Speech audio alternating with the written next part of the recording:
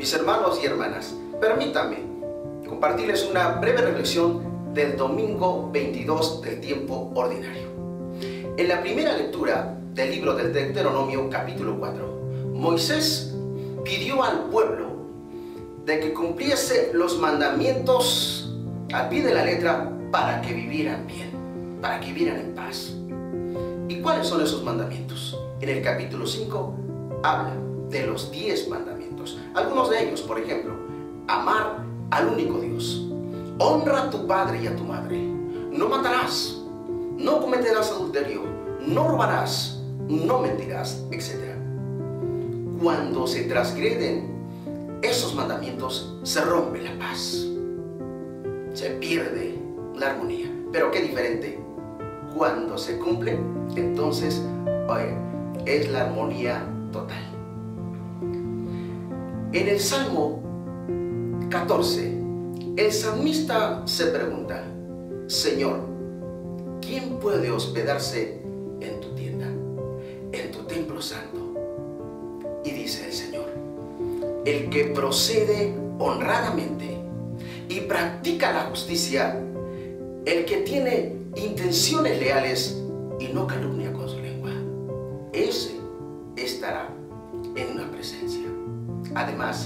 el que no hace el mal a su prójimo, ni difama al vecino. El que considera despreciable al impío, al criminal y honra a los que temen al Señor. El que no se retracta en lo que juró, aún en daño propio. El que no presta dinero con grandes intereses y mucho menos permite el soborno contra el inocente. El que así obra le irá bien, nunca fallará. Hermanos, esforcémonos por obrar así, para habitar en la casa del Señor.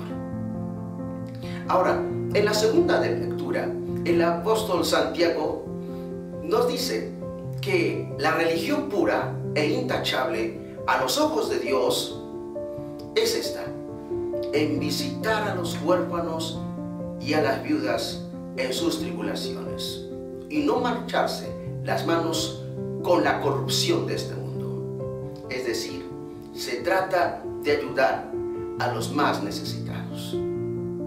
Ahora, en el Evangelio de San Marcos capítulo 7, un grupo de fariseos y letrados de Jerusalén le preguntaron a Jesús, ¿por qué comen tus discípulos con manos impuras y no siguen la tradición de los mayores?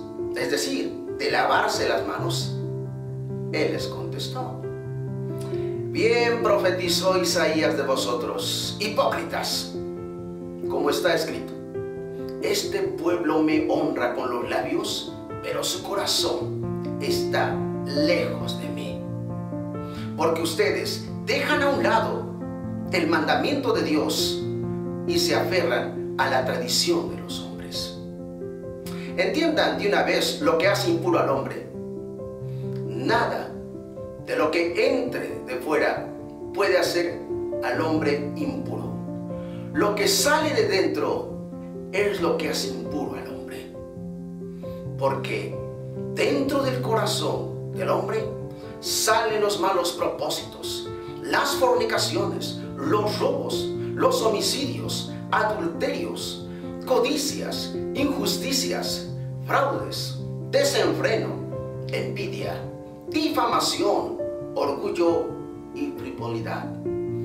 Todas estas maldades salen de dentro y hacen al hombre impuro. Esto es lo que hay que cuidar más. Hermanos, cuidemos la higiene de las manos, pero sobre todo, cuidemos más la higiene del corazón. Corazón, oye, es lo que después se expresa con la boca. De lo que hay en el corazón es después lo que se externa, lo que se hace. Pues hermanos, cuidemos, como nos pide el Señor, nuestro corazón. Que nuestro corazón esté lleno de Dios para que luego así ofrezcamos a Dios a los demás hermanos. Que el Señor los bendiga.